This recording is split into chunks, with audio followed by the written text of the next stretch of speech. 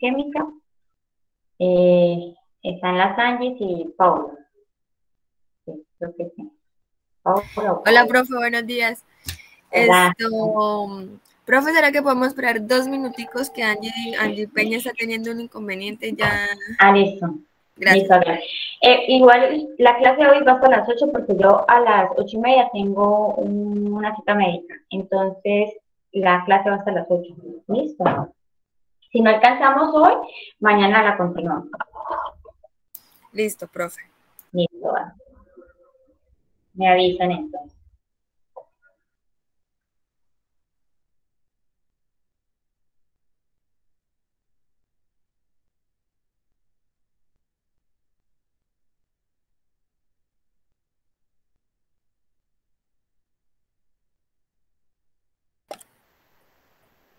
Buenos días.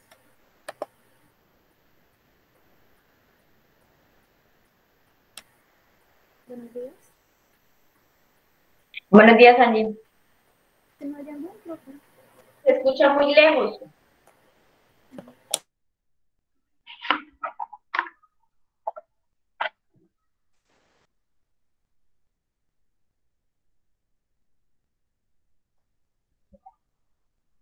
porque no, he tomado el pantallazo.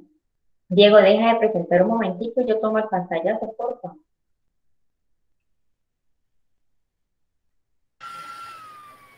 Ahora me oyen Espérame. No, todavía se escucha muy lejos. Yo tomo el pantallazo. Listo, Diego.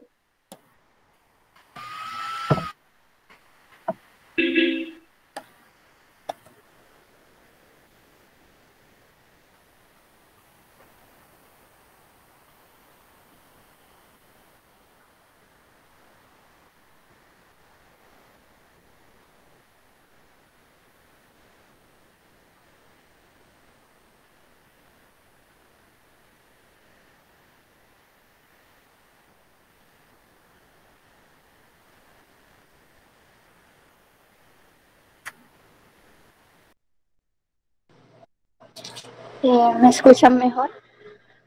Sí. Vale, muy bien.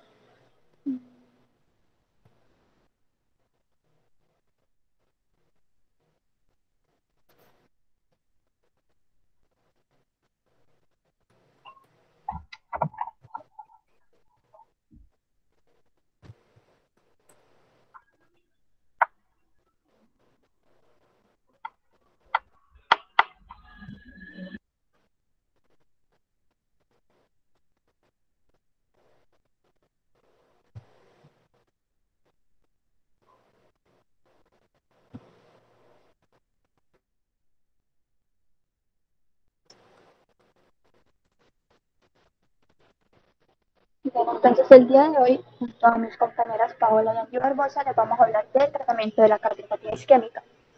Entonces, pues, antes de hablarles de un tratamiento, hablemos de qué es la cardiopatía isquémica. Siguiente, por favor. Entonces, esta es la enfermedad ocasionada eh, por la arteriosclerosis de las arterias coronarias, es decir, las encargadas de proporcionar sangre al músculo cardíaco. Eh, la arteriosclerosis coronaria es un proceso lento de formación de colágeno y acumulación de lípidos y células inflamatorias. Estos tres procesos van a provocar el estrechamiento de las arterias coronarias. Eh, por lo general, este proceso empieza en las primeras décadas de vida, pero los síntomas como tal no se reflejan sino hasta que dicha estenosis se hace ya tan grave que lo que va a hacer es que va a causar un desequilibrio entre el aporte de oxígeno al miocardio y sus necesidades. Eh, y es aquí donde ya se va a producir una isquemia miocárdica que se va a conocer como una angina del pecho estable o una oclusión súbita por lo que es la trombosis de la arteria, que ya lo que va a provocar es una falta de oxigenación del miocardio y va a dar lugar, dar lugar a lo que es el síndrome coronario agudo, que podría presentarse como una angina inestable o como incluso un infarto agudo de miocardio. Eh, como bien sabemos, esta arteriosclerosis, eh, siguiente por favor. eh, abarca el aumento de la sedimentación de lípidos en lo que es el espacio subendotelial, eh, la disfunción endotelial con disminución de la producción del óxido nítrico, eh, nos va a producir una menor vasodilatación y un mayor riesgo de adhesión plaquetaria. Este influjo de células depuradoras de lípidos, que especialmente lo que van a hacer son macrófagos, se va a causar una necrosis, inflamación estéril, proliferación de células del músculo liso y la calcificación dándose así un estrechamiento de los vasos sanguíneos al aumentar lo que es la formación de esta placa. Eh, a, lo que el, revestimiento de dicho endotelio eh, o de la capa celular eh, que rodea el núcleo necrótico se rompe, estos materiales trombogénicos como lo son por ejemplo el colágeno se van a presentar al torrente sanguíneo causando así la adhesión plaquetaria y la sedimentación de fibrina y dándose la formación de trombos y el cierre del vaso sanguíneo. Eh, bueno, es importante destacar que dicho proceso es dinámico y dicha formación de los trombos es netamente el resultado del equilibrio entre la trombosis y la trombolisis por lo que es el sistema fibronolítico. Siguiente, por favor. Bueno, entonces para destacar un poco de lo que era la anatomía de las arterias coronarias, recordemos que la derecha lo que va a hacer es irrigar la mitad del nódulo sinusal, el 90% del aurículo ventricular. Esta tiene pues una forma característica como de C y pues da una rama descendente que irriga la cara inferior o diafragmática del corazón. Eh, bueno, cabe destacar que esto es en aproximadamente el 85% de pacientes que presentan una dominancia derecha. Y en cuanto a la izquierda, esta pues va a tener una longitud muy reducida, como la hemos observado, eh, se va a bifurcar casi inmediatamente en dos grandes arterias que conocemos como descendente anterior, que va a irrigar la cara anterior del corazón, y la cara circunfleja, que irriga la cara lateral del corazón. Siguiente, por favor. ¿Por qué les mencionaba esto? Porque teniendo en cuenta, eh, podemos saber qué parte del corazón está afectada al observar un electrocardiograma, como se muestra aquí en la imagen. Siguiente, por favor. Bueno, como les venía mencionando antes, eh, la clasificación de esta se da en dos, coronaria estable o crónica, que es en la que encontramos la angina estable, de la que hablaremos más. Entre ellas también se encuentra la angina microvascular y la isquemia silente, de las cuales pues no hablaremos. Y también encontramos el síndrome coronario agudo, eh, con elevación del segmento sin elevación del segmento ST, donde vamos a encontrar la angina, y la angina inestable de la que también hablaremos. Siguiente, por favor. Bueno, nos encontramos con que existen unos factores de riesgo que nos van a producir la arteriosclerosis. Siguiente, por favor.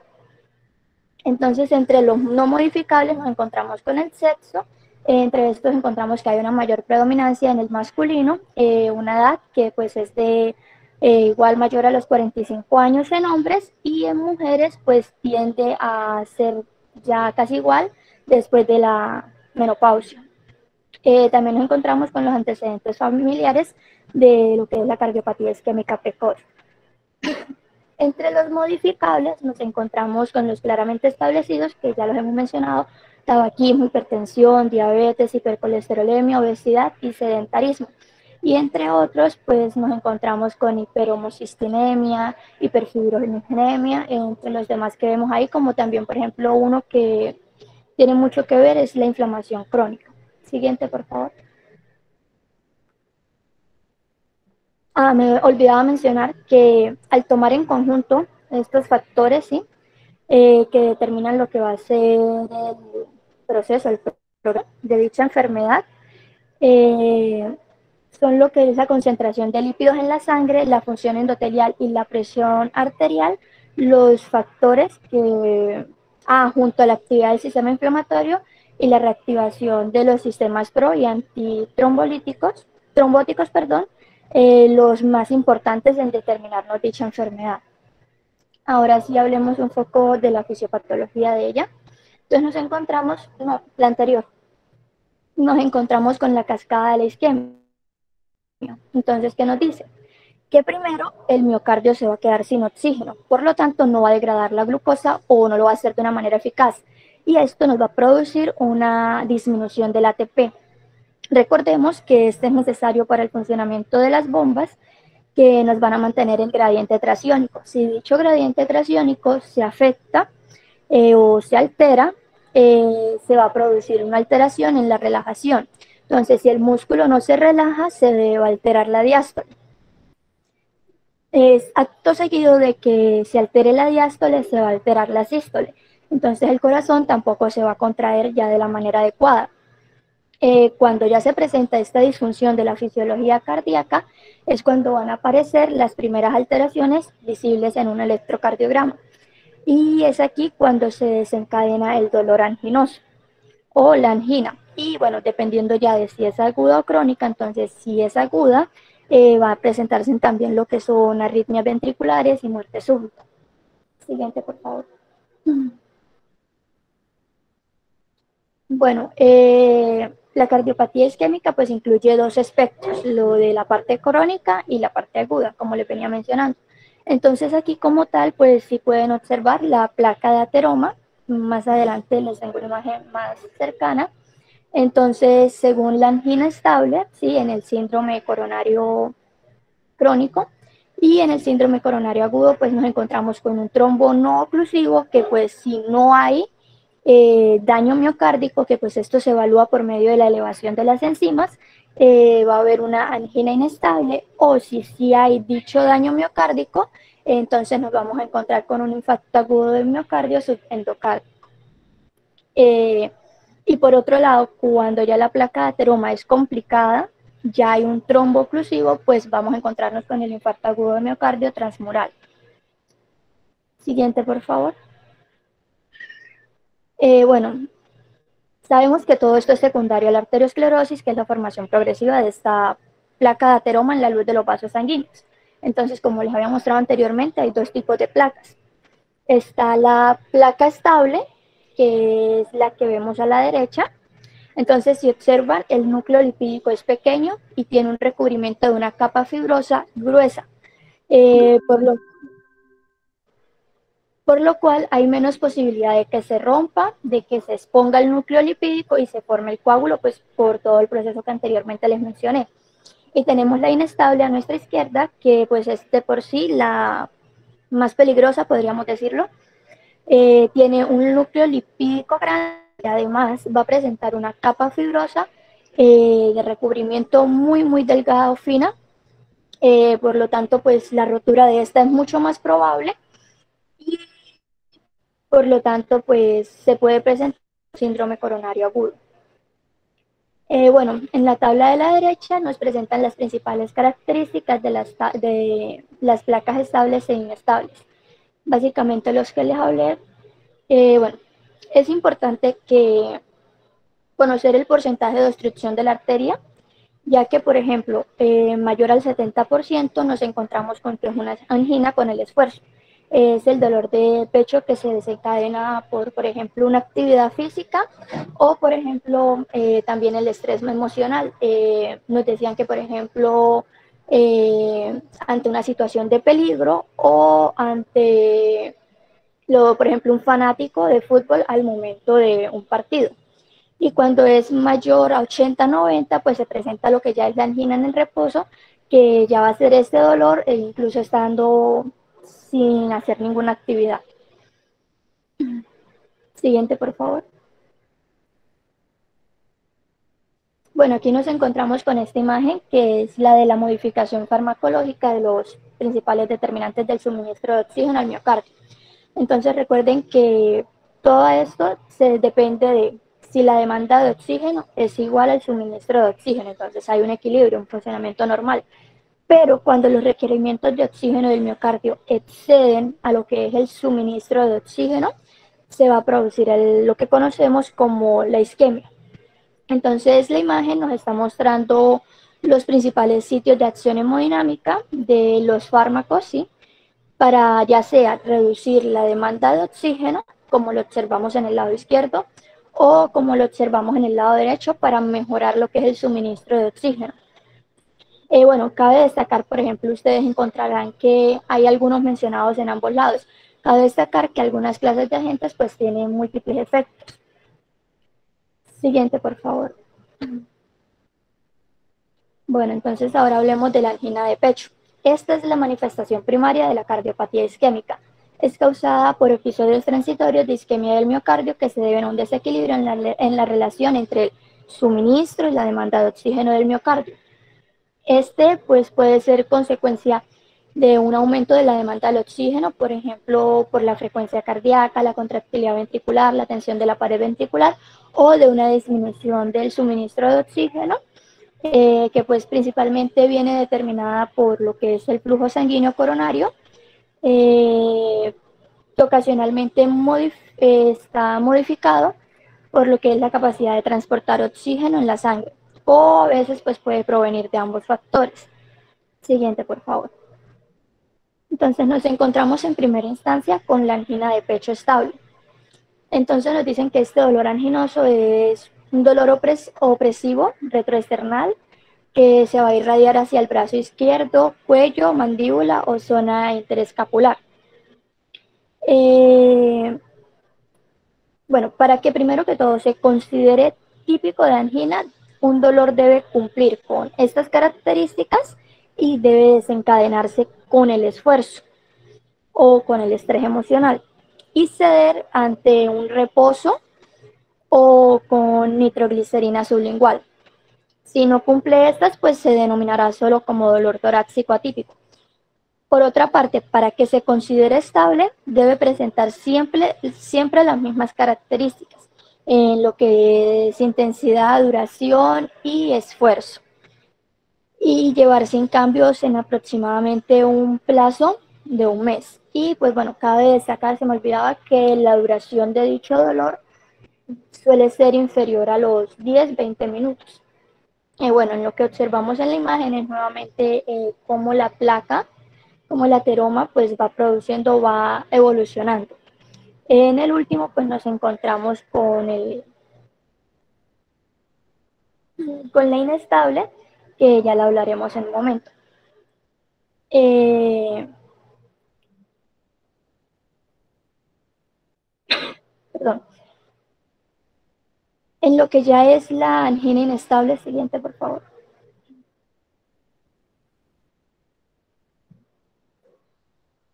Eh, bueno, primero pues cabe destacar que este puede ser un signo muy alto de riesgo de agudo de miocardio o de muerte súbita. Esta se desencadena igual que el infarto, pero en este caso pues no va a existir como tal una oclusión del todo ¿sí? eh, de la arteria coronaria del trombo y por lo tanto pues no se ha llegado a producir esa muerte celular.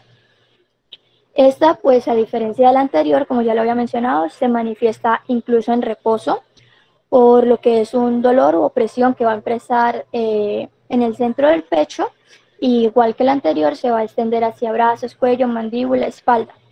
Por lo tanto, bueno, también hay que destacar que los síntomas son iguales a los de infarto, pero van a tener una menor duración eh, e intensidad. Y bueno, cabe destacar que esta debe ser tratada como emergencia, ya que pues de todas maneras presenta un riesgo elevado de producir un infarto, una arritmia grave o la muerte súbita.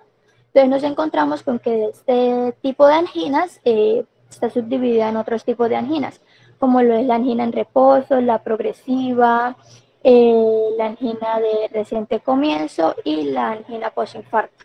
Siguiente, por favor. Bueno, entonces aquí nos mencionan que es importante entender la diferencia entre la fisiopatología de la angina estable y los síndromes coronarios agudos. Eh, bueno, donde el suceso fundamental es la complicación de una capa arteriosclerótica, mm, que por otra parte no suele ser gravemente obstructiva en el caso de las primeras que hemos visto, eh, con fisura de rotura de la placa y trombosis sobreañadida, lo que determina una interrupción súbita y crítica del flujo coronario que origina una isquemia muy intensa de tal forma que si dicha situación no se redistribuye y se prolonga lo suficiente, conduce a la necrosis del miocardio irrigado por el paso afecto. Siguiente, por favor. Ahora sí, vamos a iniciar lo que es la farmacoterapia de la cardiopatía isquémica. Entonces nos hablaban en el libro de que los principales agentes farmacológicos utilizados en el tratamiento de la angina son los nitrovasodilatadores, los beta bloqueadores y los bloqueadores de los canales de calcio. Siguiente, por favor. Entonces vamos a hablar de los nitratos orgánicos. Estos son profármacos que generan óxido nítrico. Este óxido nítrico se activa la isoforma soluble de la guaniciclasa lo que aumenta los niveles intracelulares del GMP cíclico. A su vez, este GMP cíclico va a promover la desfosforilación de la cadena ligera de miocina y la reducción del calcio citosólico y va a conducir a la relajación de las células del músculo liso en una amplia gama de tejidos. En este caso, pues sabríamos que son los del corazón. Esta relajación dependiente del óxido nítrico en el músculo liso vascular va a conducir a una vasodilatación y la activación de esta guaniciclasa mediada por óxido nítrico, eh, cabe destacar, también inhibe la agregación plaquetaria y relaja el músculo liso, por ejemplo, bronquios. En cuanto a la química de este, hay que destacar que los nitratos orgánicos son ésteres de poliol de ácido nítrico, mientras que los nitritos orgánicos son ésteres de ácido nitroso, eh, como pues lo vamos a observar ahorita en la siguiente tabla. Estos ésteres de nitrato eh, y los ésteres de nitrito se caracterizan por una secuencia de carbono, oxígeno, nitrógeno, como lo están observando, en tanto que los compuestos de nitro poseen enlaces carbono-nitrógeno. Siguiente, por favor. Bueno, aquí nos encontramos con la tabla que les mencionaba, la de los nitratos orgánicos disponibles para uso clínico. Eh, bueno, de entre estos, realmente del único que le vamos a hablar es del dinitrato de isosorbida. Entonces, siguiente, por favor.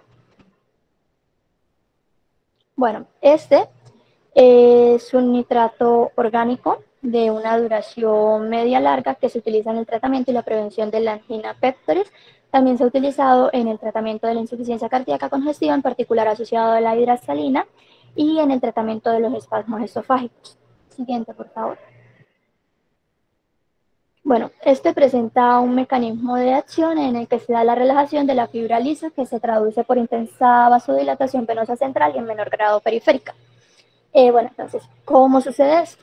Igual que pues otros nitritos y nitratos, este es convertido en óxido nítrico un radical libre que también se forma, cabe destacarlo, se había mencionado, eh, endógenamente en las células endoteliales vasculares, constituyendo el factor de crecimiento derivado del endotelio, conocido como por sus siglas EDGF. Este óxido nítrico va a producir una relajación de los músculos lisos vasculares. ¿De qué manera? Activando la guanilatociclasa, que pues ya sabemos, como lo he mencionado anteriormente, es la enzima clave en la síntesis del GMP cíclico, eh, bueno, este va a ser un segundo mensajero que activa toda una serie de fosforilaciones que a su vez pues, van a estar catalizadas por las sinasas. Eh, esto va a finalizar en la desfosforilación de una cadena ligera de miocina de la fibra muscular lisa, eh, con lo que va a seguirle, que va a ser una pronta liberación de los iones calcio, eh, bueno, ya sabemos que el estado contráctil de los músculos lisos se debe a lo que son las cadenas ligeras de miocina fosforiladas, entonces su desfosforilación va a ocasionar dicha liberación del calcio y esta liberación nos va a producir una relajación de las células musculares eh, y por lo tanto pues se va a producir una vasodilatación de todos los vasos, incluyendo las arterias coronarias. Entonces, por tanto, estos nitratos van a relajarnos, ¿sí? Lo que es, el lecho venoso periférico y nos van a reducir el retorno venoso. Y por tanto, pues lo que conocemos como precarga. También cabe destacar que reduce la impedancia como la presión de llenado venoso, eh, por lo cual se va a reducir la tensión de la pared del ventrículo izquierdo. De esta manera aumentan la capacitancia venosa y nos reducen las resistencias arteriales periféricas, reduciendo lo que es la precarga y lo que a su vez va a implicarnos que esta demanda de oxígeno eh, se vea reducida. Eh, bueno, en cuanto a la farmacocinética, encontramos que después de una dosis oral, este se absorbe muy rápidamente por el tracto digestivo, pero pues de cierto modo va a experimentar lo que podría ser una extensa metabolización hepática de primer paso, por lo que su biodisponibilidad tiende a ser de tan solo el 22%. En cuanto a la absorción sublingual, eh, evita, evita que el fármaco pase por dicho primer paso de metabolización, por lo cual su biodisponibilidad llega a aumentar incluso un 55%. Eh, bueno, en cuanto a las formulaciones de liberación sostenida, van a aumentar en, biodisponibilidad incluso un 75%. Eh, bueno, estos comprimidos van a producir unos efectos cardiovasculares alrededor de 2 a 5 minutos, pero por otro lado las formas orales convencionales van a mostrar un efecto un poco más tardío que se va a ver reflejado alrededor de los 15-40 minutos. Y en cuanto a las de formulación sostenida, eh, sus efectos van a verse en los primeros 30 minutos y la duración de los efectos en todas ellas tiende a ser de una a dos horas después de la administración sublingual y en administraciones convencionales eh, cuatro a seis horas. Por otro lado, las de liberación sostenida pueden llegar a durar incluso 14 horas. Eh, bueno, esto se va a distribuir ampliamente por todo el organismo y va a ser metabolizado primero a isosorbide 5 mononitrato o isosorbide 2 mononitrato, eh, los cuales son farmacológicamente activos y este va a ser metabolizado por completo y eliminado en la orina en la que prácticamente no se va a detectar el fármaco de partida. En cuanto a las indicaciones terapéuticas, bueno, se utiliza para manejar lo que es la angina en personas que padecen la enfermedad de las arterias coronarias, eh, en cuanto a las tabletas de liberación prolongada y las cápsulas de liberación prolongada se utilizan para el control del dolor del pecho en dichas personas y solo se puede utilizar para prevenir la angina. Cabe destacar que esta, eh, bajo ningún motivo, se puede utilizar para tratar un episodio de angina una vez que ha comenzado. Eh, bueno, esta pues ya sabemos que es un medicamento vasodilatador y va a relajarnos los vasos sanguíneos. En cuanto a las reacciones adversas, entonces nos encontramos con hipotensión ortostática, dolor de cabeza, ruborización, digestivos, vértigo y debilidad. Y en cuanto a las eh, contraindicaciones, nos encontramos con hipersensibilidad a la dinitrato isosorbida, nitratos orgánicos en general, a la hipotensión grave, colapso cardiocirculatorio, infarto agudo con descenso del llenado ventricular, anemia grave, shock cardiogénico, hasta que la presión de la diastólica esté mantenida con las medidas apropiadas. Eh, también encontramos con hipovolemia grave, traumatismo craneal o hemorragia cerebral, concomitancia o con inhibidores de la fosfodiesterasa tipo 5, como lo es el sildenafilo. Y, bueno, en cuanto a sus dosis, podríamos regresarnos a la tablita de antes.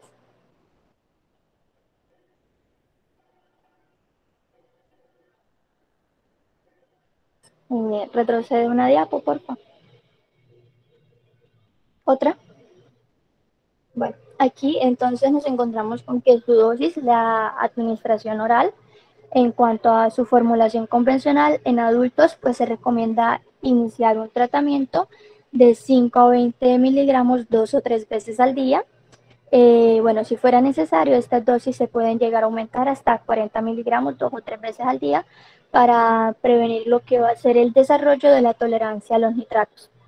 Entonces también se va a recomendar un periodo libre de nitratos de aproximadamente unas 14 horas.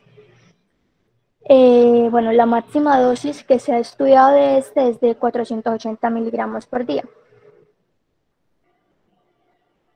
En cuanto a la formulación de liberación sostenida, eh, se debe iniciar el tratamiento con 40 miligramos una vez al día y si fuera necesario se puede aumentar hasta incluso 160 miligramos eh, al día. En este caso, el intervalo entre dosis debe ser de 18 horas o más para evitar dicha tolerancia a los nitratos.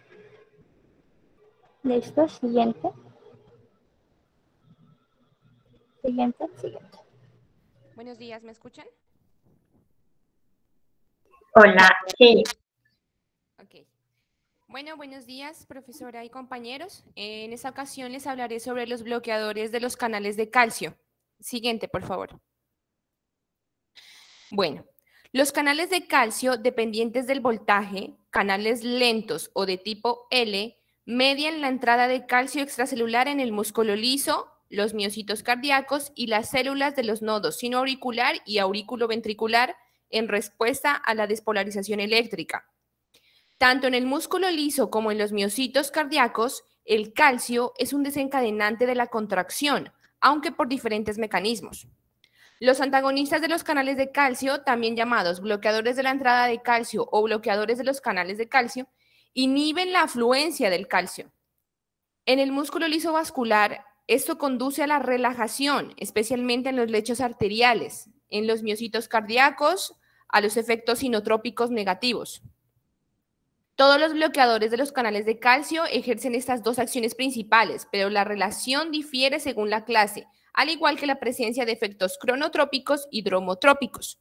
Bueno, aquí acabé de mencionar eh, los efectos inotrópicos negativos, que significa que disminuye la contractibilidad y los efectos cronotrópicos que disminuye la frecuencia cardíaca y los dromotrópicos que en el corazón se disminuye la transmisión de los impulsos eléctricos. Pero más adelante les hablaré más sobre los efectos. Siguiente, por favor. Bueno, ahora, eh, los múltiples bloqueadores de los canales de calcio que están aprobados para su uso clínico tienen diversas estructuras químicas, como podemos observar en la imagen. Los bloqueadores de los canales de calcio utilizados clínicamente incluyen la fenilalquilamina verapamil, el diltiazem, una benzotiazepina, e innumerables dihidropiridinas que incluyen el amlodipino, la clevidipina, felodipino, isradipino, lercanidipino, nicardipino, nifedipino, nimodipino y neolcidipino. Eh, las estructuras y las especificidades relativas de los medicamentos representativos se muestran en esta tabla. Aunque estos fármacos se agrupan comúnmente como bloqueadores de los canales de calcio, existen diferencias fundamentales entre el verapamilo y el amlodipino con respecto a la farmacodinámica y las interacciones medicamentosas y los efectos tóxicos, que es de los dos fármacos que les voy a hablar en esta exposición. Siguiente, por favor. Bueno, Vamos a hablar primero de un mecanismo de acción en general. Entonces, solo el canal de tipo L es sensible a las dihidropiridinas. Todos los bloqueadores de los canales de calcio se unen a la subunidad alfa 1 del canal de calcio regulados por el voltaje de tipo L, que es la unidad principal de formación de poros del canal. Esta subunidad se asocia con una subunidad alfa 2 delta unida por puentes disulfuro y una subunidad beta intracelular más pequeña. Las subunidades alfa 1 comparten una topología común de cuatro dominios homólogos, cada uno de los cuales está compuesto por seis segmentos putativos transmembrana, de S1 a S6. Las subunidades alfa 2, delta y beta modulan la subunidad alfa 1 como podemos observar en la primera imagen. Y en la segunda imagen observamos que el bloqueador de canales de calcio fenilalquilamínico verapamilo se une al segmento 6 transmembrana del dominio 4. El bloqueador de canales de calcio benzotiazepínico eh, diltiazem se une al puente citoplasmático entre el dominio 3 y el dominio 4. Y los bloqueadores dihidropiridínicos del canal de calcio, eh, donde viene el amlodipino y los otros, se unen a los segmentos transmembrana de ambos dominios, 3 y 4.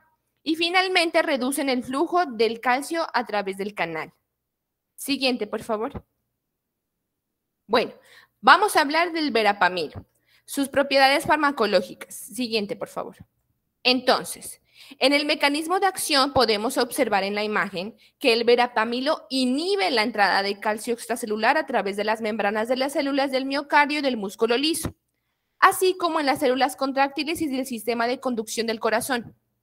Los niveles plasmáticos de calcio permanecen sin alterar el verapamilo se fija a los canales lentos de calcio deformándolos, lo que impide la entrada de calcio, con lo que actúa sobre los mecanismos iónicos que regulan el automatismo. En el interior de las células, el verapamilo interfiere con la liberación del calcio intracelular que se almacena en el retículo sarcoplásmico. La reducción de los niveles de calcio intracelular afecta el mecanismo contráctil del tejido del miocardio, produciendo una dilatación.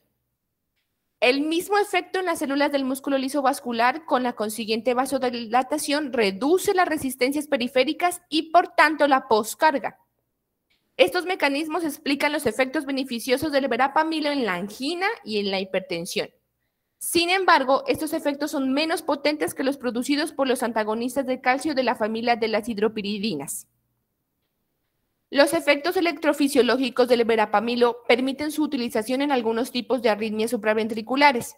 El verapamilo actúa sobre los canales lentos del nodo sinusal y atrioventricular, sin afectar los canales de calcio y ralentiza la conducción auriculoventricular, con lo que actúa sobre las taquiarritmias que se originan por encima del nodo auriculoventricular. Por el contrario, el verapamilo es ineficaz en las arritmias ventriculares que dependen de los canales rápidos de sodio y que responden mejor a los fármacos que bloquean los canales de sodio, como la lidocaína. La reducción en la conducción auriculoventricular se refleja en el intervalo PR del electrocardiograma de modo que es posible un bloqueo de segundo o tercer grado si el verapamilo se administra con betabloqueantes. Algunas de las arritmias que responden al verapamilo son la taquicardia supraventricular paroxística y eh, la fibrilación auricular y el flúter. Siguiente diapositiva, por favor. Y aquí podemos ver un resumen del mecanismo de acción del verapamilo. Entonces, tenemos en el miocardio, cuando hay un aumento de oxígeno, va a haber un aumento del flujo coronario. Y cuando va a haber una disminución del oxígeno, va a haber una disminución en la contractilidad y una disminución en la frecuencia cardíaca.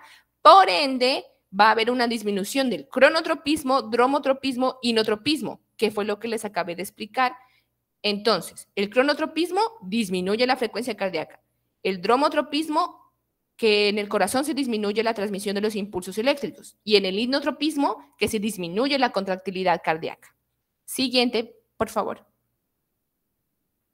Bueno, continuando con las propiedades farmacológicas del verapamilo, entonces, tenemos que en la presentación se encuentra como graguea de 80 miligramos, comprimido de 120 y 180 miligramos, comprimido en la hipertensión arterial de 240 miligramos y una ampolleta de 5 miligramos sobre 2 mililitros. Em, en el ADME tenemos que, después de una dosis oral, se absorbe rápidamente, aunque experimenta un extenso metabolismo de primer paso lo que hace que su biodisponibilidad sea solo del 20 al 35%. La comida reduce la biodisponibilidad de las formulaciones retardadas del verapamilo, pero no de las formulaciones convencionales. Entonces, el comienzo de los efectos hemodinámicos y electrofisiológicos del verapamilo tiene un lugar a las 1 o 2 horas después de su administración oral. Los efectos son máximos entre las 2 y 5 horas en el caso de las formulaciones convencionales y a las 5 horas en el caso de las formulaciones retardadas. La actividad farmacológica del verapamilo se mantiene durante 8 a 10 horas en el caso de las formulaciones convencionales y durante 24 horas en el caso de las retardadas. Después de la administración intravenosa, la actividad del verapamilo es máxima a los 5 minutos y dura entre 10 y 20 minutos. El verapamilo y su metabolito activo, el norverapamilo, se distribuyen muy bien por todo el organismo, incluyendo el sistema nervioso central. El fármaco se excreta en la leche materna alcanzando concentraciones próximas a las concentraciones plasmáticas de la madre, lo que representa un problema en la lactancia. También se ha comprobado que pasa fácilmente la barrera placentaria. El verapamilo se une en un 90% a las proteínas del plasma y aproximadamente un 70% es eliminado en la orina en forma de metabolitos. La semivida de eliminación del verapamilo es de unas 2 a 5 horas después de dosis únicas, aumentando de a 5 a de 12 horas después de dosis múltiples. En los pacientes con insuficiencia renal pueden extenderse hasta las 14 horas. La eliminación del verapamilo tiene lugar por vía renal, eliminándose en las heces tan solo el 16% de la dosis administrada. Menos del 5% de la dosis se excreta como verapamilo sin alterar en la orina. Siguiente, por favor. En las indicaciones tenemos que está indicado para el manejo de hipertensión, angina incluyendo la vasopástica y la inestable, y el estado de angina crónica. Arritmias en asociación con digitálicos sirve para el control de la contracción ventricular y para la fibrilación auricular crónica, como profiláctico en taquicardia supraventricular y paroxística. En las contraindicaciones está contraindicado en falla cardíaca congestiva y en pacientes que reciben beta-adrenérgicos, beta-bloqueadores, como propranolol, y en taquicardia ventricular. Eh, también está contraindicado en shock o estados hipotensores graves, bloqueo nodal atrioventricular de segundo o tercer grado, síndrome de seno enfermo a menos de que esté colocado un marcapasos ventricular funcional, Hipotensión o insuficiencia cardíaca, a menos de que sean debidas a taquiarritmias supraventriculares tratables con verapamilo, fibrilación atrial y vía, atrioventricular accesoria. En las reacciones adversas tenemos mareo, náuseas, cefalia, estreñimiento, insuficiencia cardíaca congestiva en pacientes con disfunción ventricular izquierda, se ha comunicado efectos secundarios hemodinámicos graves, por ejemplo, como la hipotensión severa y alteraciones de la conducción, como ejemplo, bradicardia sintomática o, asistolia. En dosis tenemos que se administra por vía oral o intravenosa. Adultos en angina de pecho, una graguea tres a seis veces al día. En taquiarritmias supraventriculares, una ampolleta lentamente por vía intravenosa. En casos de efecto terapéutico insuficiente, se puede administrar otra ampolleta después de 5 a 10 minutos. En niños menores de un año, de 0,1 a 0,2 miligramos sobre kilogramo vía intravenosa en 2 minutos inicialmente. Puede repetirse con la misma dosis en 30 minutos si la respuesta inicial es inadecuada. Y de un año a 15 años, de 0,1 a 0,3 miligramos sobre kilogramo vía intravenosa hasta una dosis máxima de 5 miligramos en 2 minutos inicialmente. Puede repetirse con la misma dosis hasta una dosis máxima de 10 miligramos en 30 minutos si la respuesta inicial es inadecuada. Siguiente, por favor. Bueno, ahora hablaremos sobre el amlodipino. Las propiedades farmacológicas, siguiente, por favor. Entonces, el mecanismo de acción.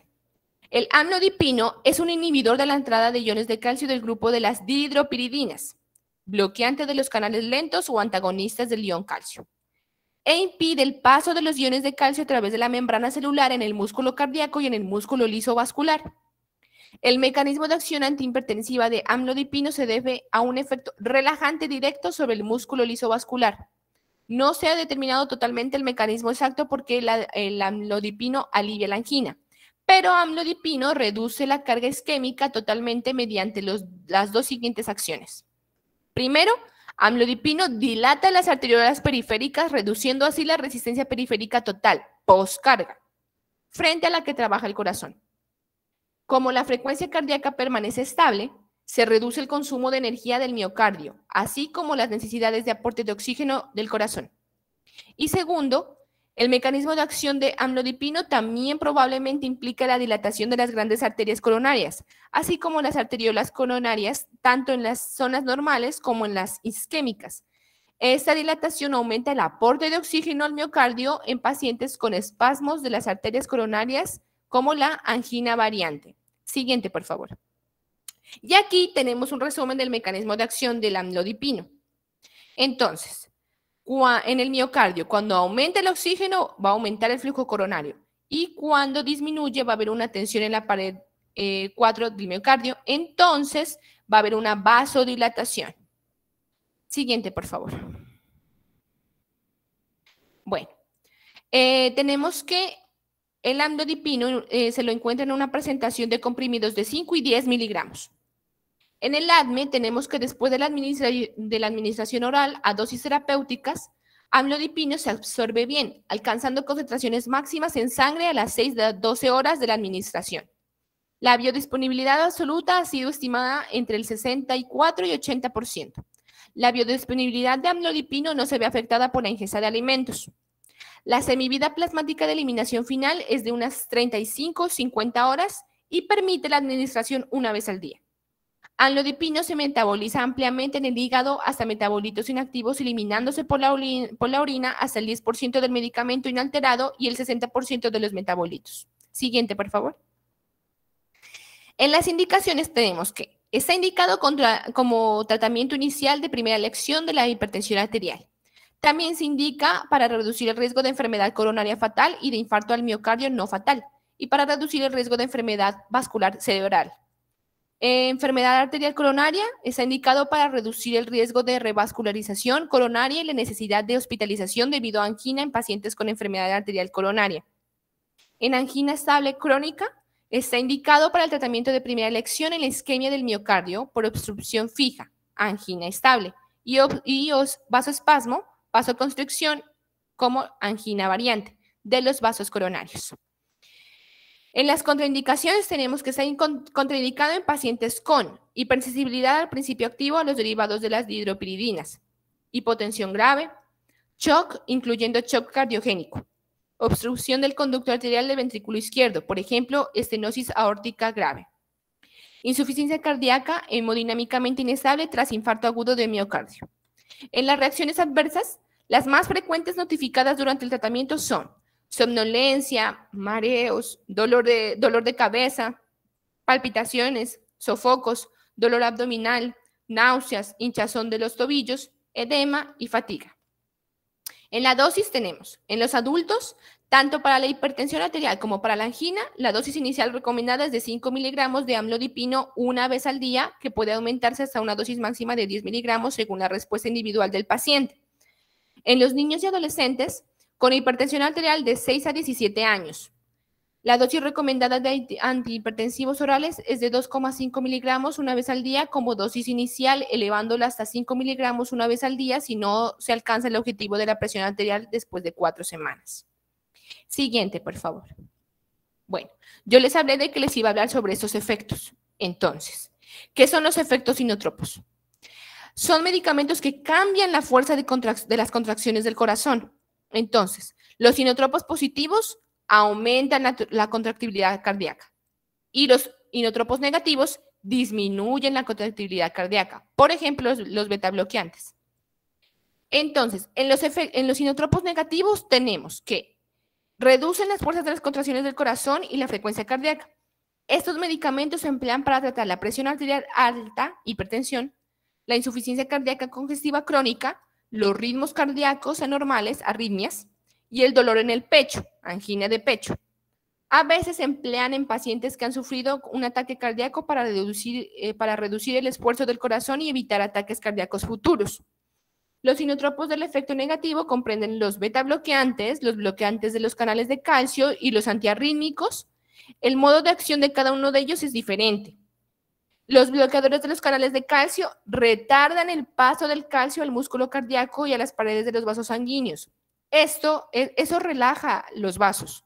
Entonces, los vasos relajados permiten que la sangre fluya más fácilmente, reduciendo así la presión arterial. En los beta bloqueantes, que les hablaré a, eh, a continuación, bloquean los efectos de la adrenalina en los receptores beta del organismo. Eso retarda los impulsos nerviosos que pasan por el corazón. Por consiguiente, el corazón no tiene que esforzarse tanto porque necesita menos sangre y oxígeno. Los betabloqueantes también bloquean los impulsos que pueden provocar una arritmia. Y los antiarrítmicos pues retardan la conducción eléctrica del corazón. Siguiente, por favor. Bueno, ¿qué son los cronotrópicos? Sustancia o fármaco capaz de modificar la frecuencia cardíaca. Los cronotrópicos positivos aumentan la frecuencia cardíaca y los cronotrópicos negativos disminuyen la frecuencia cardíaca. Siguiente, por favor. Y finalmente, ¿qué es el dromotropismo? Se refiere a la capacidad que presenta el corazón de realizar la transmisión de impulsos eléctricos a través del sistema de conducción eléctrica del corazón. Siguiente, por favor. Bueno, ahora les hablaré sobre los efectos cardiovasculares integrados de diferentes antagonistas de los canales de calcio. Y aquí es donde yo les menciono sobre los efectos inotrópicos y cronotrópicos. Entonces, los perfiles hemodinámicos de los bloqueadores de los canales de calcio aprobados para el uso clínico difieren y dependen principalmente de la relación entre los efectos vasodilatadores y los efectos inotrópicos y cronotrópicos negativos en el corazón. Las, dihidropiridinas, como el amlodipino, dilatan los vasos sanguíneos en concentraciones varias veces menores que las requeridas para disminuir la fuerza del miocardio. La proporción es cercana a 1 para diltiazem y verapamilo. Las dihidropiridinas son relativamente vasoselectivas y son mucho menos selectivos diltiazem y verapamilo, ya que tienen consecuencias importantes, porque la disminución de la presión arterial provoca activación simpática refleja, lo que resulta en la estimulación de la frecuencia cardíaca, la velocidad de la conducción, de conducción auriculoventricular y la fuerza del miocardio. todo lo contrario del efecto directo de los bloqueadores de los canales de calcio. Mientras que los efectos directos e indirectos normalmente se equilibran entre sí en el caso del verapamilo y el diltiazem. La estimulación simpática a menudo prevalece en las dihidropiridinas, lo que mm, provoca un aumento en la frecuencia cardíaca y la contractibilidad. Sin embargo, los efectos depresores cardíacos de las dihidropiridinas pueden desenmascararse en presencia de los betabloqueadores y en pacientes con insuficiencia cardíaca. Las dihidropiridinas en, en su uso clínico, como el amlodipino y los otros, comparten la mayoría de las propiedades farmacodinámicas. Las diferencias con respecto a la selectividad vascular o a la selectividad subvascular se basaron en las afirmaciones de factores de vasoselectividad grandes en comparaciones indirectas. En cualquier caso, los medicamentos ejercen su efecto antianginoso principalmente por la vasodilatación arterial periférica y la reducción de la poscarga y no por la dilatación de las arterias coronarias, excepto en la angina variante. El verapamilo, como el amlodipino, tienen poco efecto sobre el retorno venoso y la precarga, pero tienen efectos sinotrópicos y cronotrópicos negativos más directos que las dihidropiridinas en dosis que producen dilatación arterial y reducción de la poscarga. Por tanto, las consecuencias de un aumento reflejo en el tono adrenérgico generalmente se compensan con los efectos cardiodepresores directos del medicamento. En, pacientes con insuficiencia cardíaca, la administración oral de verapamilo reduce la resistencia vascular periférica y la presión arterial con cambios mínimos en la frecuencia cardíaca. El rendimiento ventricular no se ve afectado y de hecho puede mejorar, especialmente si la isquemia limita el rendimiento. Por el contrario, en pacientes con insuficiencia cardíaca, el verapamilo intravenoso puede causar una marcada disminución de la contractibilidad y de la función ventricular izquierda, el efecto antianginoso del verapamilo, como el de todos los bloqueadores de los canales de calcio, se debe principalmente a una reducción en la demanda de oxígeno del miocardio. El efecto dromotrópico negativo no tiene relevancia para la mejoría del ejercicio, pero puede causar el bloqueo auriculoventricular de segundo grado, particularmente cuando se administra en combinación con betabloqueadores. Siguiente, por favor. Bueno, ahora hablaremos de los beta bloqueadores. Siguiente. Los beta bloqueadores son la única clase de fármaco eficaz para reducir la gravedad y la frecuencia de los ataques de angina de esfuerzo y para mejorar la supervivencia en pacientes que han tenido un infarto de miocardio. Por consiguiente, se recomienda como tratamiento de primera línea en pacientes con cetoacidosis diabética y angina inestable.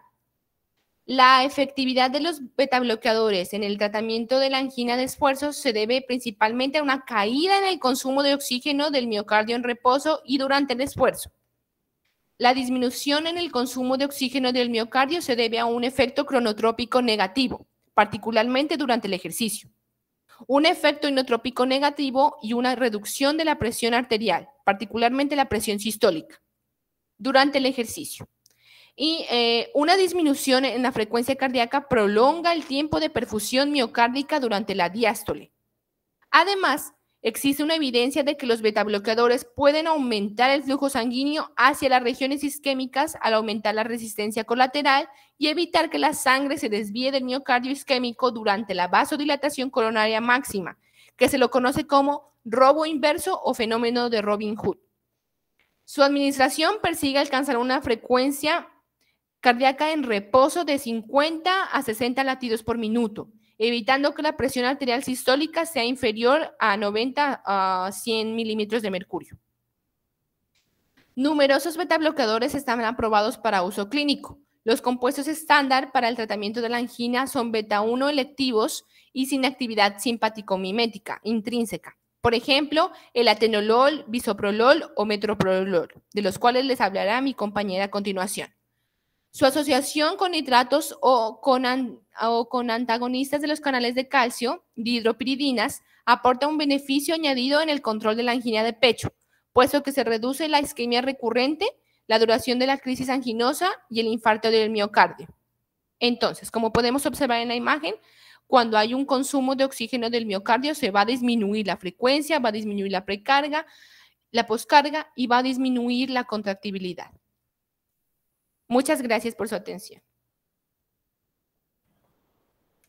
Bueno, entonces yo le voy a hablar más específicamente de, de cada beta bloqueador. Entonces tenemos el atenolol, que es un antagonista que muestra selectividad por beta 1. Este es desprovisto de actividad intrínseca, simpático-mimética y actividad estabilizadora de membrana. Eh, este tiene una presentación de tabletas orales de 25, 50 y 100 miligramos. La dosis inicial es de 50 miligramos por día. Se absorbe de manera incompleta, alrededor de un 50%, y la mayoría se excreta sin cambios en la orina. Tiene una vida media de eliminación de 5 a 8 horas. Eh, este fármaco se acumula en pacientes con insuficiencia renal y la dosis se debe ajustar para los pacientes eh, en, el que, en los que el aclaramiento de creatinina es inferior a 35 mililitros por minuto.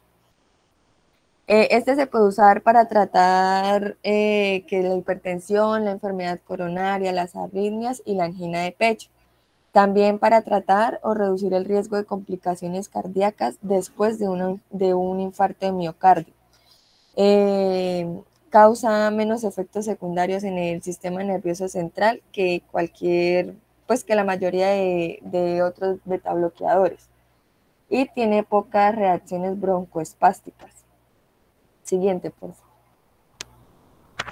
El bisoprolol también es un antagonista de los receptores beta 1 altamente selectivo, solo que este carece de actividad simpático-mimética intrínseca o estabilizadora de la membrana.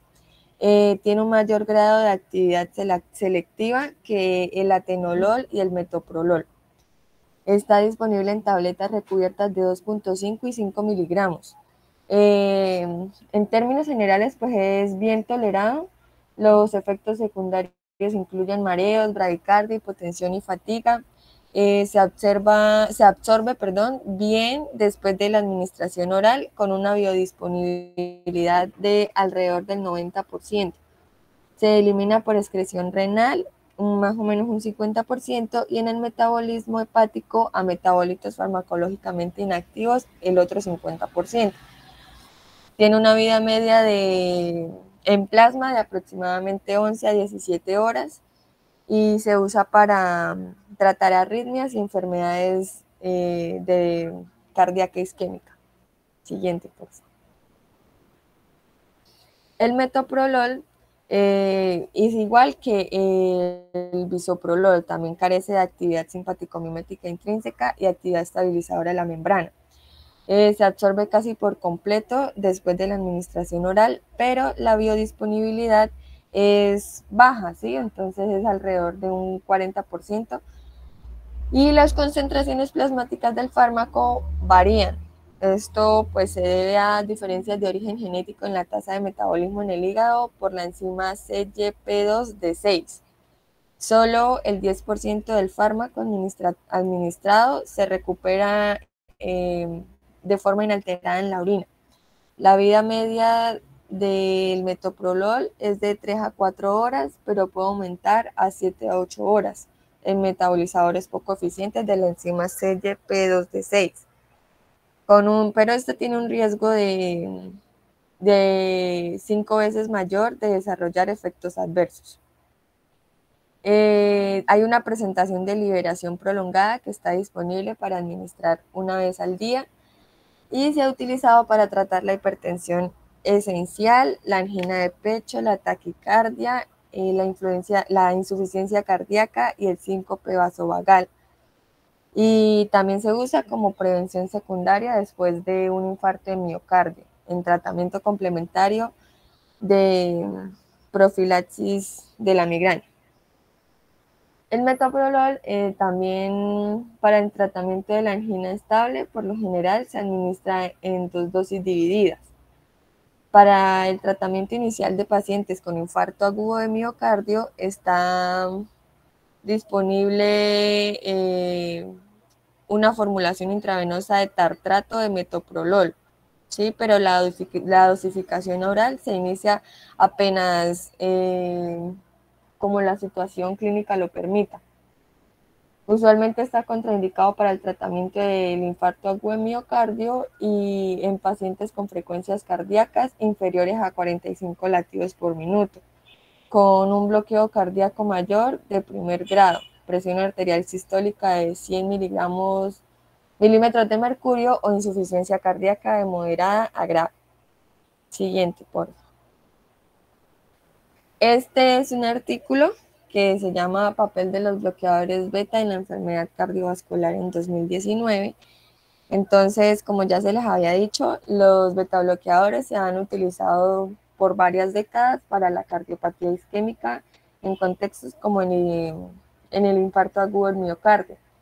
Em, muchos estudios en, tiempos anteriores, antes de la reperfusión, testearon el efecto beneficioso de los beta-bloqueadores en el contexto del, del infarto agudo del miocardio y pues mostraron un efecto bueno, sí, un beneficio claro en cuanto a reducción de mortalidad a largo plazo. Entonces los betabloqueadores en la fase aguda del miocardio, durante el infarto eh, se produce una actividad simpática mediada por catecolaminas en respuesta al dolor, a la ansiedad y a la disminución del gasto cardíaco. Eh, este aumento del tono simpático tiene consecuencias negativas, eh, como un aumento de la demanda miocárdica de oxígeno que acelera la necrosis miocárdica o un descenso en el umbral de fibrilación ventricular y pues esto aumenta el riesgo de una muerte súbita. La actividad simpática aumentada también eh, resulta en una actividad de diferentes tipos celulares circulantes, como las plaquetas y los neutrófilos. Esto eh, contribuye de manera importante a lo que se puede llamar como el daño por reperfusión. En la mayoría de los ensayos realizados en, los tiempos antes de la reperfusión eh, compararon el uso de betabloqueadores intravenosos inmediatamente tras el diagnóstico del infarto seguido de, de betabloqueadores orales frente a un placebo. El inicio temprano del uso de los betabloqueadores probó como una intervención capaz de limitar la extensión de la necrosis, pero pues los resultados no fueron concluyentes, ¿sí? Entonces, en ausencia de reperfusión, es difícil encontrar un beneficio en cuanto a limitación de la extensión de necrosis. Cuando estaba al tiempo de la reperfusión farmacológica, por lo menos el atenolol intravenoso se mostró ineficaz para reducir el tamaño del infarto en un ensayo aleatorizado que se hizo. Pero, o sea, sin embargo, otro estudio no aleatorizado mostró que el metoprolol intravenoso sí se asociaba con un menor tamaño del infarto, o sea, era como más efectivo en comparación al atenolol. Si vemos en el cuadro, eh, se va a encontrar el primer estudio clínico al respecto en pacientes reperfundidos mediante angioplastia primaria, que es el metocarnic, que fue hecho en el 2013. Está 1, 2, 3, 4, el 5, el quinto bajando. Este se realizó en España. Eh, fue un ensayo en el que la administración del metoprolol se asoció con menor tamaño del infarto y mayor FEBI a largo plazo. ¿sí?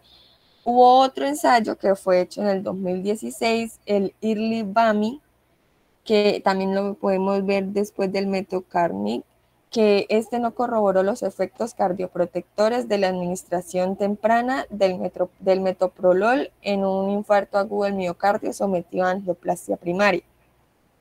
La diferencia entre los dos ensayos eh, se debe al momento en el que se administró el metoprolol. En el metocarnic se hizo mucho más temprano que en el irlibami. Eh, pues ya se ha encontrado, se ha demostrado que cuanto más tiempo pase entre la administración intravenosa del, del metoprolol y la reperfusión mayor, es el efecto cardioprotector de este. El uso temprano de los betabloqueadores en, en el infarto agudo se ha cuestionado, pues el potencial riesgo de aumentar la incidencia del shock cardiogénico es alto. ¿sí?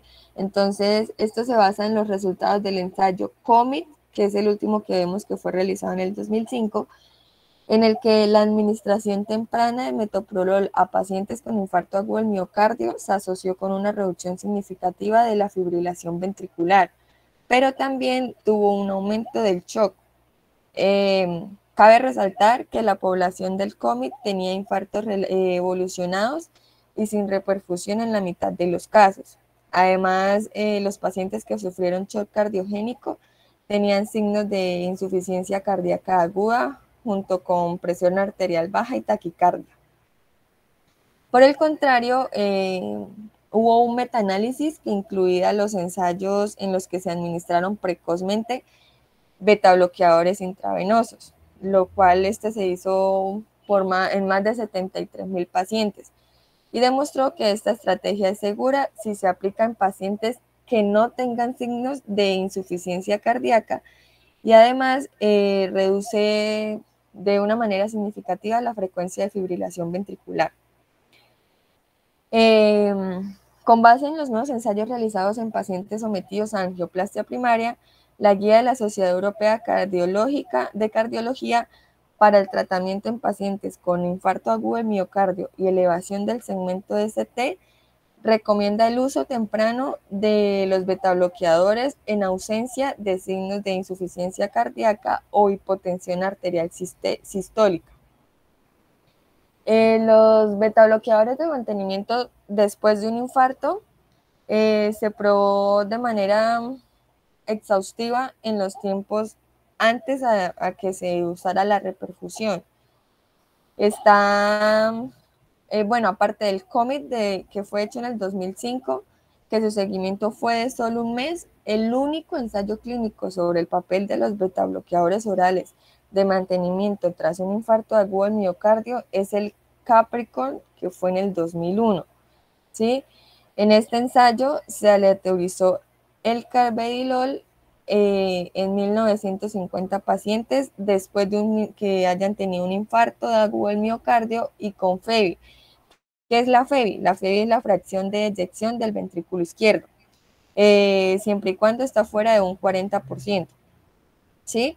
El uso de los betabloqueadores se asoció con una reducción de la mortalidad total, pero eh, aún falta evidencia sobre los beneficios de los betabloqueadores para los pacientes después de un infarto agudo al miocardio con una FEI mayor al 40%.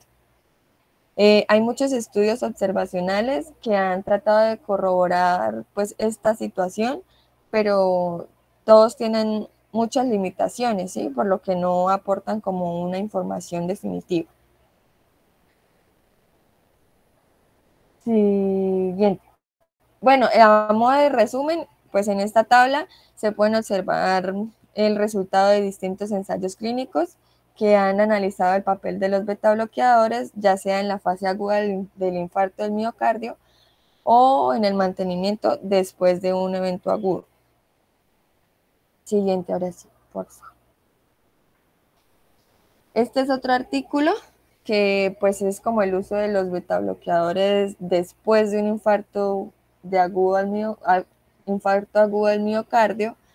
Eh, es como, bueno, no es un artículo, es como una mm, revisión, como una carta del editor analizando esta situación, ¿sí? Eh, se publicó el primero de octubre del 2020 y pues vamos a, a, a ver, siguiente, favor. Entonces, como ya les dije, es una carta del editor. En este editorial se refiere a terapia con bloqueadores beta a largo plazo y resultados clínicos después de un infarto agudo de miocardio en pacientes con insuficiencia cardíaca. Este es un estudio de cohorte a nivel nacional. En los estudios que se realizaron en una época en la que la intervención coronaria percutánea primaria no era el estándar de atención para el infarto agudo del miocardio, ¿sí? O sea, eso no era como lo principal en ese momento. Entonces, de manera similar, la farmacoterapia complementaria que se usa en la actualidad no estaba disponible en ese momento. Por lo tanto, la, la extrapolación de los resultados de esos ensayos a la práctica contemporánea presenta pues bastantes limitaciones. Hay estudios posteriores que establecieron la eficacia de los beta bloqueadores después de un infarto de miocardio en un subgrupo de riesgo que es particularmente alto. Eh, los pacientes con fracción de eyección reducida. ¿sí? Entonces, eh, a consecuencia de esto, El uso rutinario de, beta bloqueantes en pacientes con infarto de miocardio con elevación del segmento ST y la frecuencia de eyección reducida, la fracción de eyección reducida, se, se recomienda en la versión más reciente de la Sociedad Europea de Cardiología, que pues es la guía que ya les había mencionado, y la Asociación Americana del Corazón y el Colegio Americano de Directrices de Cardiología. Pero a pesar de eso, debido a la escasez de datos en pacientes con infarto agudo miocardio y fracción de eyección conservada, los beneficios del uso de betabloqueantes en esta población pues son inciertos. Aunque las guías generalmente abogan por el uso de estos, eh, hay una variabilidad en su recomendación. Por ejemplo, en pacientes con STEMI, que es el infarto agudo del miocardio con elevación del segmento ST y la FE conservada, el uso rutinario de betabloqueantes a largo plazo es una recomendación de, de las guías de la Asociación Americana del Corazón, Colegio Americano de Directrices de Cardiología. Esto fue el 2013 y una recomendación de las guías de la Sociedad Europea de la Cardiología en el 2017. En esta edición, pues los que Kim y los colegas que eran como los que estaban haciendo la, investigación, eh, evalúan la asociación entre el uso de betabloqueantes a largo plazo y los resultados clínicos en pacientes sin antecedentes de insuficiencia cardíaca que tuvieron eh, infarto agudo del miocardio. En el estudio de la cohorte a nivel nacional hubo 28.970 pacientes que se sometieron a revascularización coronaria por infarto agudo del miocardio y este incluyó a aquellos pacientes que estaban libres de eventos de muerte, eh, infarto de miocardio recurrente o insuficiencia cardíaca al año. El hallazgo más importante del estudio es que posiblemente el menor riesgo de muerte por cualquier causa en los pacientes que recibieran un beta bloqueante. Esto persistió en algunos grupos durante un tiempo con una mediana de seguimiento de 3.5 años. ¿sí? En el análisis, el tratamiento con beta bloqueantes durante pues, un año se asoció con una menor mortalidad en comparación con el grupo en el que se utilizó el tratamiento con betabloqueantes por menos de un año. Eh, de manera similar, pues entre los pacientes que estuvieron libres de eventos de muerte, eh, los de infarto de miocardio recurrente u hospitalización por insuficiencia cardíaca a los dos años, se observó una menor muerte por todas las causas en aquellos que continuaron el tratamiento con betabloqueantes durante dos años o más, ¿sí? Estos hallazgos pues se observaron para carbedilol y bisoprolol, que fueron los dos betabloqueantes prescritos con mayor frecuencia en la cohorte. Eh, un análisis del registro eh, REASH que incluyó a más de 3.000 pacientes con infarto eh, seguidos de, durante una mediana de 43 meses, se hizo la observación. No hay diferencias en la mortalidad por todas las causas o la mortalidad cardiovascular asociada con el uso de beta bloqueantes. Eh, particularmente, la mayoría, pues más del 70% de los pacientes de esta cohorte no tenían insuficiencia cardíaca. Se informó que los pacientes que continuaron la terapia con beta bloqueantes después de la alta hospitalaria tenían un riesgo menor de mortalidad cardiovascular al año pero eh, la continuación del tratamiento con estos beta bloqueantes después de un año no se asoció con una diferencia de mortalidad a los cinco años. Entonces, dos estudios informaron una menor mortalidad a corto plazo, o sea, seis meses, y a largo plazo de tres años, con la terapia de beta bloqueantes después de un infarto agudo del miocardio, solo en pacientes con fracción de eyección reducida. Mientras que los homólogos con fracción de eyección conservada no obtuvieron eh, como esa reducción de mortalidad. Eh, los metaanálisis contemporáneos tampoco demostraron ningún beneficio en la mortalidad asociado con el uso de betabloqueantes después de un infarto de miocardio. Entonces, eh, en la actualidad se están realizando... Siguiente, por favor. Entonces, aquí vemos como, cuáles son los, los ensayos que se están realizando en la, en la actualidad. Estos son ensayos clínicos aleatorizados de un tamaño grande que evalúan la eficacia clínica de la terapia con betabloqueantes en pacientes con infarto al, miocardio y frecuencia, fracción de eyección conservada. Eh, la comunidad científica que está realizando esto pues está esperando los resultados, pero tal parece que la terapia con betabloqueantes en pacientes con infarto del miocardio y fracción de eyección preservada es probablemente ventajosa para el pronóstico a, a corto plazo, perdón, pero eh, carece de evidencia pues como definitiva con respecto a los resultados a largo plazo. Eh, un fármaco que pues ha sido ampliamente utilizado clínicamente durante más de medio siglo, pues como los que estaba mencionando, eh, necesitan pues como una reevaluación, por eso están como haciendo estos ensayos en la actualidad y están basándose en los ensayos que se han hecho anteriormente. Siguiente, por favor. Ahora vamos a hablar de los agentes antiplaquetarios. Em, eh, los agentes antiplaquetarios interfieren con dos vías de señalización, la TXA2 y la ADP. Estos promueven la agregación plaquetaria de manera cooperativa en una forma autocrina y paracrina. Siguiente, por favor. Tenemos la aspirina y las tienopiridinas. Entonces, la aspirina inhibe la agregación plaquetaria inactivando irreversiblemente la COX-1, que es la sintetizadora de tromboxano en las plaquetas. Y lo que, y con esto lo que hace es reducir la producción de TXA2. Eh, esta administrada en dosis de 160 a, a 325 miligramos al inicio del tratamiento del síndrome coronario agudo eh, mejora la supervivencia de la persona. Las tinopiridinas son antagonistas del receptor ADP, que bloquean el efecto proagregante del ADP el cual es almacenado en vesículas dentro de las plaquetas y se libera cuando pues estas se adhieren a estructuras protrombóticas. El sinergismo, proagregante de TXA2 y ADP en la agregación plaquetaria y la formación de trombos, eh, pues explica el efecto potenciador de la adición de una tienopiridina a, a la aspirina. ¿sí?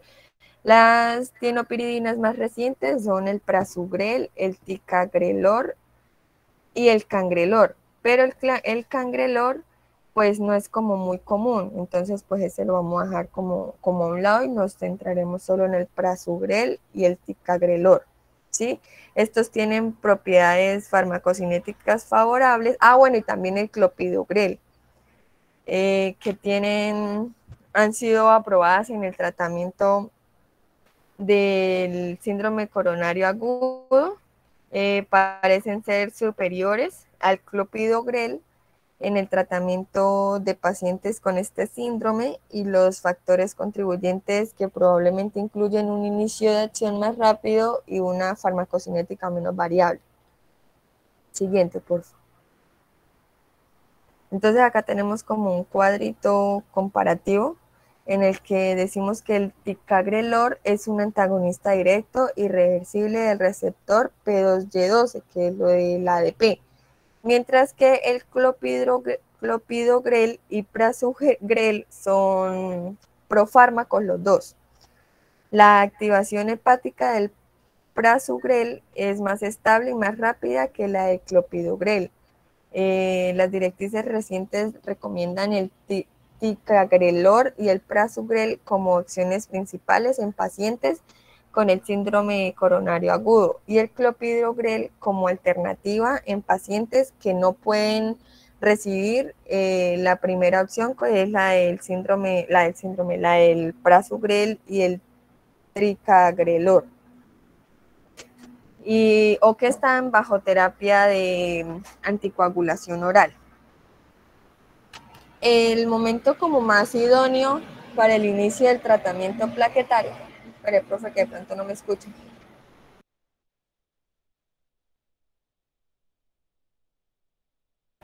Ya.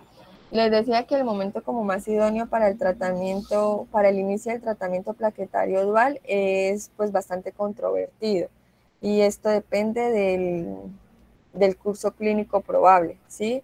Si un tratamiento conservador es posible y el paciente no tiene un mayor riesgo de hemorragia, este se debe administrar pues aspirina y un anticoagulante parenteral tan pronto como sea posible con la adición de un, de un antagonista del receptor P2Y12, que son los de la ADP, las timopiridinas, tan pronto como el diagnóstico pues haya sido hecho. Em, en la actualidad se recomienda la inhibición plaquetaria dual durante un año para todos los pacientes después de un infarto de miocardio sin elevación del segmento ST o para una persona que haya tenido un infarto de miocardio con elevación del ST, ¿sí? con los de SIN y CON. Y la revascularización independiente del tipo de, estén utilizado. Siguiente. Bueno, debido al mecanismo de acción, están los irreversibles y prolongados. El riesgo de hemorragia pues permanece incrementado durante largos periodos después de la retirada de estos fármacos. Entonces, si se va a hacer una cirugía no cardíaca importante que no sea eh, de urgencia, deben posponerse hasta cinco días el ticagrelor y el clopidogrel o siete días el prasugrel y la aspirina. Pues después, esto después de la ingestión de la última dosis. Eh, las tenopirinas más recientes y más efectivas son el prasugrel y el ticagrelor y las guías los recomiendan en pacientes con solo en situaciones de rescate. Siguiente, por favor. Eh, aquí hay otros agentes antianginosos. Siguiente. Entonces tenemos la ranolacina o su nombre comercial.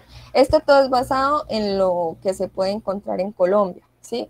Entonces, eh, el nombre comercial con el que se puede encontrar la ranolacina es el Ranexicor, que están en una presentación de tabletas de liberación prolongada, se administra independiente de las comidas, eh, las podemos encontrar de 500 miligramos y de 1000 miligramos. Tiene una biodisponibilidad oral de aproximadamente el 75%, una vida media terminal de aproximadamente 7 horas con dosificación repetida. Se alcanza eh, una concentración plasmática máxima en estado estacionario en 3 días. La eliminación del fármaco de forma inalterada es del 5% y los metabolitos se excretan en la orina. Eh, este inhibe el sodio tardío y otras corrientes de iones cardíacas. Eh, tiene un beta bloqueo débil y efectos metabólicos. Este se usa como segunda opción en la prevención de la angina de esfuerzo y el metabolismo independiente de CYP34A. Siguiente. Siguiente. La Perdón, anterior. Sí, ah, no, sí, siguiente y siguiente. Dos. Ahora la ibabradina, que lo podemos encontrar como, encontrar como procoralán. Este se encuentra en comprimidos recubiertos con película de 5 miligramos y 7.5 miligramos, eh, una biodisponibilidad oral de aproximadamente el 40%, y esto se debe al efecto como el primer paso intestinal y hepático. La vida media terminal se elimina, bueno, esta se elimina con una semivida principal de dos horas en plasma y una semivida eficaz de, de 11 horas. Su eliminación, eh, los metabolitos se excretan en un grado similar por la orina y las heces, y aproximadamente el 4% de una dosis se excreta inalterada en la orina. Siguiente, por favor. Esta pues es aprobada por la EMA para tratar la angina estable y la insuficiencia cardíaca en pacientes que no toleran los beta bloqueadores o en los cuales estos no son suficientemente efectivos para reducir la frecuencia cardíaca. Eh, está aprobada por la FDA solo para el tratamiento de la insuficiencia cardíaca. es un bloqueador selectivo de los canales HCN, que son los canales catiónicos activados por la hiperpolarización y modulados por nucleótidos cíclicos, activados por la hiperpolarización que participan en la generación del automatismo del nodo SA. El, el efecto antiaginoso pues se explica únicamente por la reducción de la frecuencia cardíaca y por tanto por la demanda de oxígeno. Un efecto secundario típico que es, pues, a menudo suele ser transitorio, son los fosfenos, que es la luminosidad aumentada transitoria en áreas restringidas del campo visual que se explican por los efectos de los canales retinales del HCN, que son los canales catiónicos activados por la hiperpolarización. Pero esto pasa solo como en el 3 al 5% de los casos. Eh, como efectos pues como adversos está la bradicardia, la prolongación del intervalo QT, la fibrilación auricular y pues como ya les mencioné, los fosfenos. La contraindicación que pues no se debe combinar con el diltiazem o verapamil. Siguiente, por favor.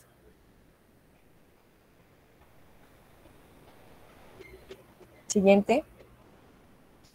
Eh, tenemos el nicorandilo, esta en Colombia solo se encuentra aprobada en tabletas de 5 miligramos, con una biodisponibilidad oral de 75%, eh, una vida media en la que se absorbe pues, rápidamente después de la administración sublingual u oral y tiene pues, la vida media corta de una hora.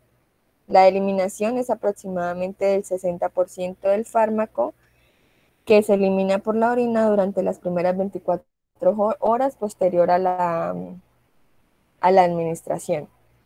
Este tiene una acción doble estimulante similar a nitrato.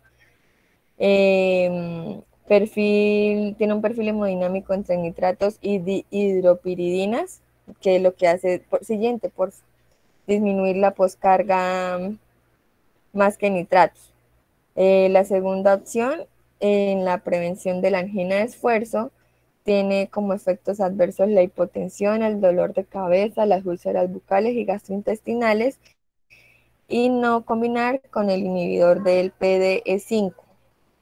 Siguiente.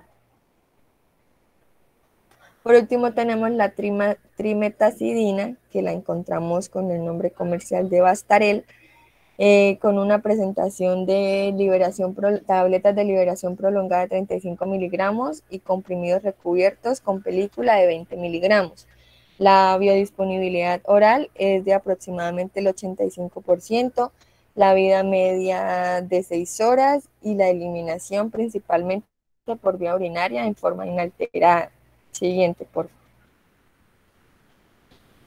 Em, eh, este pues se desarrolló como un agente antianginoso. Se cree que su efecto se debe a la inhibición de la cadena larga 3-cetoacetil coenzima atiolasa, que es la enzima final en la vía de la beta-oxidación de la FFA. Eh, esto conduce a un cambio parcial en la oxidación de la FFA a glucosa en el corazón, lo que proporciona menos ATP, entonces requiere menos oxígeno. Y a raíz de esto, pues puede ser beneficioso en la isquemia y puede ser beneficioso, eh, sí, como les había dicho, en la isquemia.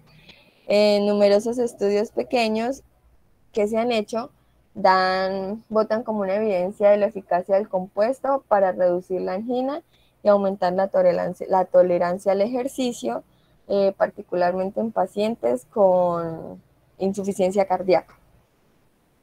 Como pasa en el corandilo, en el nicorandilo faltan muchos estudios eh, aleatorizados para definir pues como tal el, verdadero valor terapéutico de la trimetacidina. Em, este puede causar como efectos adversos malestar gastrointestinal, náuseas y vómitos, en situaciones pues pocas, ya que son raras, se ha asociado con trombocitopenia, agranulocitosis y disfunción hepática. Puede aumentar el riesgo de trastornos del movimiento, como la enfermedad del Parkinson, eh, particularmente en, en pacientes con mayores con función renal disminuida. Y ya. Gracias. Súper. Espérame un segundo, ya vuelvo. Espera un momentito, espera.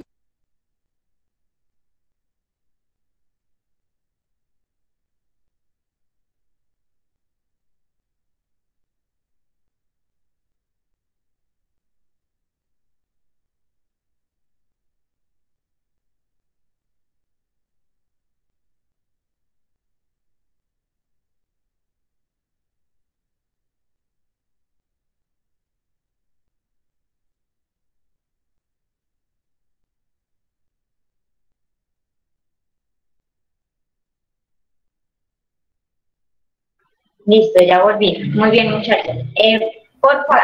Profe, este, nosotros tenemos un quizzes. Ah, listo. Vale, ya les paso. Ay, esperen.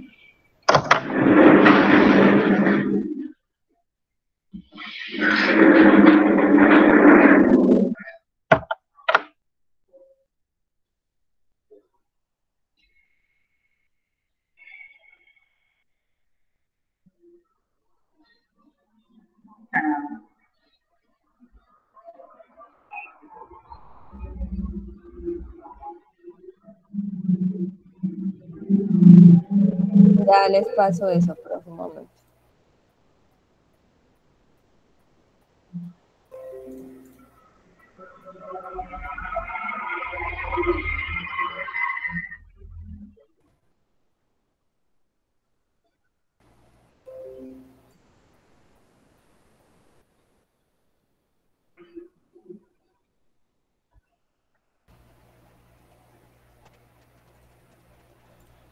Mm.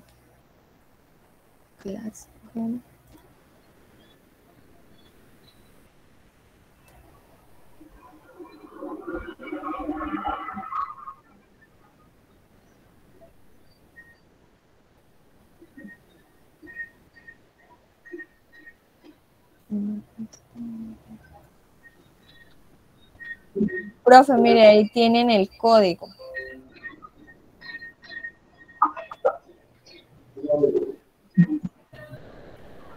Ah, y esto es Cajú. No, es Crisis. Acá, acá en la parte superior izquierda aparece el nombre de la página. Parte superior izquierda.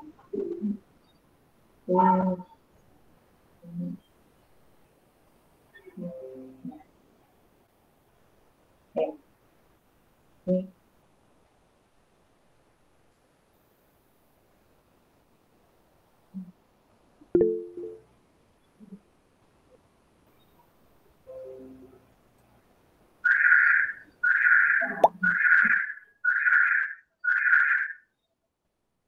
Pero tengo que entrar con él, o sea, tengo que entrar con el Gmail o qué? ¿Qué le sale, profe? Me sale que... Allá aquí parece que se está uniendo. Profe, al chat le envié el link. Ah, bueno, sí. Al chat le envié el link, profe. Sí. Al chat del grupo. Ay, sí, es que yo tengo WhatsApp de mi computador.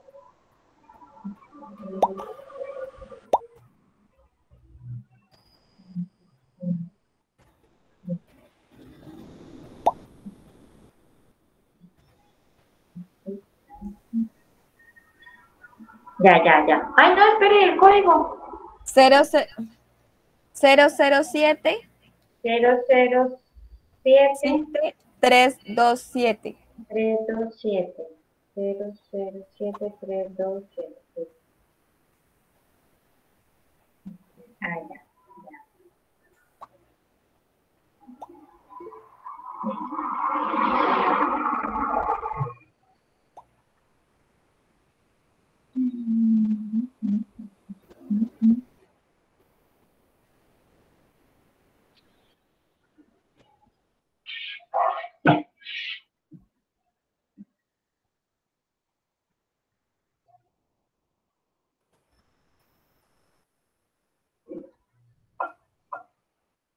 Entonces, la retroalimentación pues la hacemos mañana porque realmente ya me tengo que ir. Entonces, mañana empezamos con la retroalimentación y después continuamos con, falla cardíaca.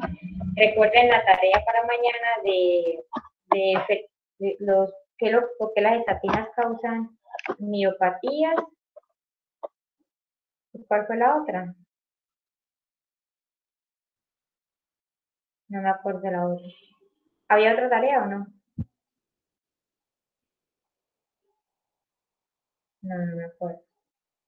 Bueno, eh, yo reviso. Yo creo que ustedes van a apuntado. Y mañana hacemos muy bien la retroalimentación de su exposición, que estuvo muy buena. ¿Listo? Te dejamos hasta acá. ¿Alguna pregunta, duda, inquietud? Ninguna, Doc. Listo, vale. Entonces nos vemos mañana a las 7 de la mañana. Eh, empezamos nuevamente, les digo, con la retroalimentación y después la tarea y después eh, falla cardíaca. ¿Listo? Listo, profe, sí, señora. Bueno, chao, hasta luego.